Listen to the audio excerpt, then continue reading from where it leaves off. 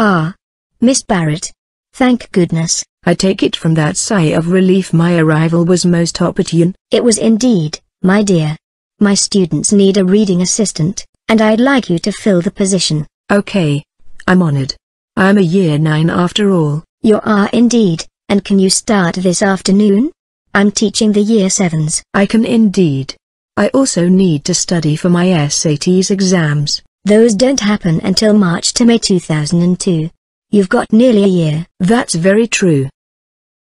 I'll see you this afternoon at 1.25. That's when the year 7s have their literacy lesson. 13.25 it is.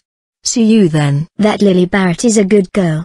Always willing to help. I wouldn't be surprised if she became a teacher someday. She'd make an excellent teacher. She certainly would, Mr. Gruff. I can't wait to see her again. Nor can I, Mr. Goats. It's gonna be fun. Work on your grammar, Mr. Billy. Or detention.